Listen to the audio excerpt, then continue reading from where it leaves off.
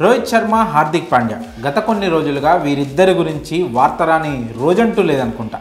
దానికి కారణం ఏంటో మనందరికీ తెలిసిందే. క్యాష్ ఆన్ ట్రేడ్ ద్వారా గుజరాత్ టైటాన్స్ నుంచి ముంబై ఇండియన్స్కి వచ్చిన పాండ్యాకు కెప్టెన్సీ పగ్గాలను అందించింది ఎంఐ యాజమాన్యం. దీంతో రోహిత్ తీవ్ర మానసిక సంఘర్షణకు గురయ్యాడు. ఇక ఈ ఘటనతో రోహిత్ ఫ్యాన్స్ పాండ్యాపై ముంబై యాజమాన్యంపై కోపంతో ఊగిపోయారు. ఈ విషయంపై ఇప్పటికే ఎంతో మంది మాజీ క్రికెటర్లు దిగ్గజాలు సైతం స్పందించారు. తాజాగా ఈ లిస్టులో చేరారు టీమిండియా మాజీ cricketer Mumbai Indians cricket development global head Zaheer Khan. Rohit Sharma ఐదు సార్లు ముంబై ఇండియన్స్ను ఛాంపియన్గా నిలిపాడు. అలాంటి ఆటగాడిని కాదని హార్దిక్ పాండ్యాకు కెప్టెన్సీ పగ్గాలు అందించింది ముంబై. ఈ ఘటన ఐపీఎల్తో పాటుగా టీమిండియా క్రికెట్లో కూడా సంచలనం రేపింది.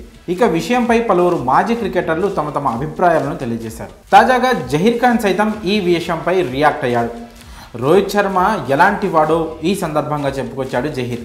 రోహిత్ శర్మ గురించి జహీర్ ఖాన్ మాట్లాడుతూ తాను ఇంతవరకు చూసిన ఆటగాళ్ళలో రోహిత్ శర్మ అద్భుతమైన ఆటగాడనని పైగా ఎమోషనల్ పర్సన్ అని అన్నాడు. అతడు టీమిండియా తరపున ఆడినా వేరే ఫ్రాంచైజీలకి ఆడినా తన ప్రాణం పెడతాడని ఇప్పటికే ఐదు ఐపీఎల్ ట్రోఫీలు గెలిచాడని ఇది చిన్న విషయం కాదని అన్నాడు. అయితే గత కొన్ని రోజులుగా జరుగుతున్న పరిణామాలు అతన్ని మరింతగా భావోద్వేగాలకి గురి చేస్తున్నాయని జియో సినిమాకు ఇచ్చిన ఇంటర్వ్యూలో జహీర్ ఖాన్ చెప్పుకొచ్చాడు. ప్రస్తుతం ఈ కామెంట్స్ నెట్టింట వైరల్గా మారాయి.